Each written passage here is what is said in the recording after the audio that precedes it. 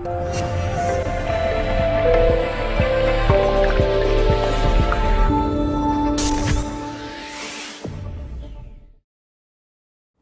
हमसे जुड़ने के लिए सब्सक्राइब करें हमारे चैनल को और प्रेस करें इस बेल बटन को जिससे आपको हमारी सभी जानकारी सही समय पर सबसे पहले मिल सके। जय माता दी दोस्तों, आपका हमारे चैनल में हार्दिक स्वागत है। दोस्तों, आज हम आपको बताएँगे पितृपक्ष के बारे में। जैसा कि आप जानते हैं कि यह 24 सितंबर से शुरू हो चुका है और इस बार 9 अक्टूबर तक रहने वाला है। इन्हीं दिनों में पितृदोष दूर करने के लिए बहुत सारी चीज़ें की जाती हैं, जिससे जीवन में, परिवार में आ रही सभी मुसीबत खत्म हो सके, सभी परेशानियाँ खत्म हो सके और आपके जीवन में, परिवार में सुख समृद्धि आपकी ओर आकर्षित हो सके। जैसा कि हमने पहले भी बताया था कि पितृदोष बहुत ही आम सा होता है और काफ़ी लोगों की कुंडली में, जीवन में देखा जाता है। यह तभी होता है जब घर में, परिवार में किसी भी व्यक्ति का अगर श्राद्ध सही से नहीं हुआ है तो आने वाली जो जनरेशन होती है, उन्हीं बच्चों में, उन्हीं के जीवन में, उन्हीं की कुंडली में पितृदोष हो जाता है, जो बिल्कुल आम सी बात है। इसीलिए काफ़ी लोगों की कुंडली में, जीवन में पितृदोष देखा भी जाता है। जिन भी लोगों के जीवन में पितृदोष होता है, उनके जीवन में हमेशा ही कुछ ना कुछ मुसीबत या परिवार पर ऐसी परेशानियाँ आती रहती है जिसमें वह हमेशा ही लगातार आपस में ही लड़ते रहते हैं वाद विवाद करते रहते हैं और खुद ही एक दूसरे को देखकर जलने लगते हैं। बल्कि जिस व्यक्ति की कुंडली में पितृदोष होता है, ऐसे व्यक्ति को सफलता नहीं मिल पाती है और धन प्राप्ति के योग भी नहीं बन पाते हैं। उसे हमेशा ही दूसरों पर निर्भर रहना पड़ता है पैसों के लिए और जो भी नया कार्य करने की वह कोशिश भी करता है, नया बिज़नेस करने की, नई नौकरी करने की तो उसमें भी उसे सफलताएँ नहीं मिल पाती है और आए दिन नई नई मुसीबत खड़ी होती रहती हैं। परिवार से जुड़ी हुई परेशानी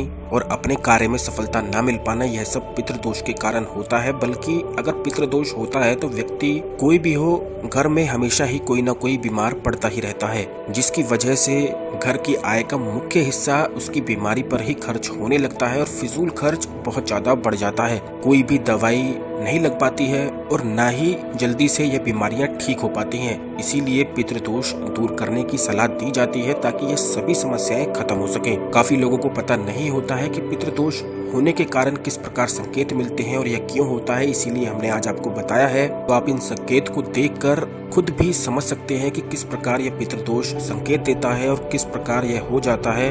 लेकिन अगर आप पितृदोष दूर करना चाहते हैं तो आपको हर साल पितृपक्ष में उनके लिए ज़रूर कुछ ना कुछ उपाय करते रहना चाहिए। काफ़ी लोग ऐसा सोचते हैं कि एक बार करा देने से उन्हें पूरी ज़िंदगी के लिए मुक्ति मिल जाती है, लेकिन ऐसा नहीं होता है, बल्कि आपको हमेशा ही उनके लिए कुछ ना कुछ करते रहना चाहिए। जिससे वह आपकी सहायता करें, क्योंकि अगर पितृ आपके सहायता करते हैं तो कोई भी मुसीबत अगर आप पर आने वाली होती है तो वह खुद पर ही ले लेते हैं और आप पर किसी भी प्रकार की मुसीबत नहीं आ पाती है। अब दोस्तों, काफ़ी लोग ऐसे भी हैं कि इन दिनों में श्राद्ध, पिंडदान आदि नहीं करा पाते हैं, ना ही कहीं पर जा पाते हैं तो ऐसे में भी वे अपने घर में ही उनके लिए कुछ ना कुछ छोटे उपाय कर सकते हैं। इससे भी उन्हें बहुत ही ज़्यादा फ़ायदा मिलता है। अगर आपके घर में या आपके जीवन में ही पितृदोष है तो आपको ध्यान रखना है कि पितृपक्ष के दौरान आपको रोज़ाना ही सूर्य को जल देना चाहिए। ऐसा करने से पितृदोष में बहुत ही ज़्यादा आराम मिलता है और आपको बहुत ही ज़्यादा सहायता भी मिलती है। आपके सभी कार्य बनने लगते हैं और आपको धन प्राप्ति के भी नए नए मार्ग मिलते हैं। पितृपक्ष में ही सूर्य को जल देने का बहुत ही अधिक महत्व माना जाता है, बल्कि इससे आपका सूर्य ग्रह स्ट्रॉन्ग बनता है और आपको मान सम्मान की प्राप्ति होती है।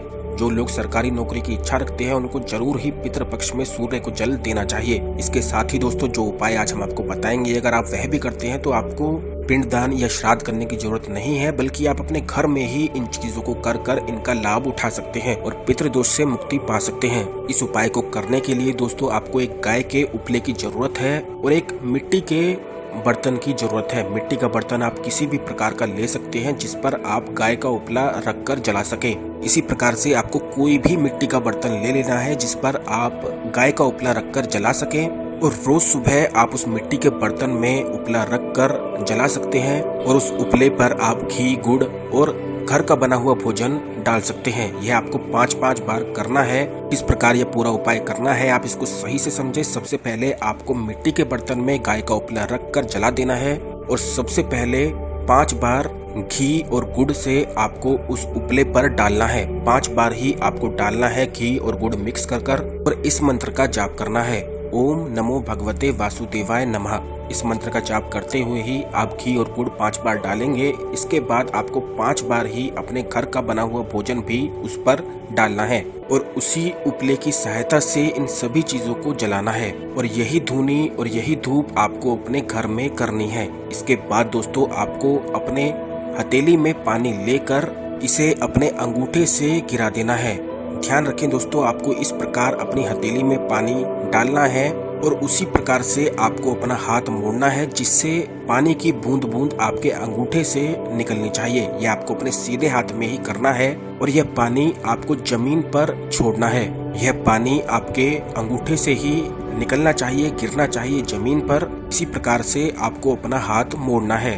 इन्हीं बातों का आपको ध्यान रखना है। अगर इसी उपाय को आप लगातार रोज पितृपक्ष में करते हैं 9 अक्टूबर तक तो आपको अपने पितरों से बहुत ही ज़्यादा सहायता मिलती है, बल्कि आपके सभी कार्य भी बनने शुरू हो जाते हैं। परिवार से सभी प्रकार के वाद विवाद लड़ाई झगड़े दूर होते हैं, या फिर जो लोग घर में बहुत ज़्यादा बीमार रहते हैं, वह भी ठीक होने लगते हैं। इन उपाय को करने से पूरा साल आपकी रक्षा होती है, बल्कि कोई भी मुसीबत अगर आप पर आने वाली होती है तो पितर खुद पर ही इन मुसीबत को ले लेते हैं और आपको कुछ भी नहीं होने देते।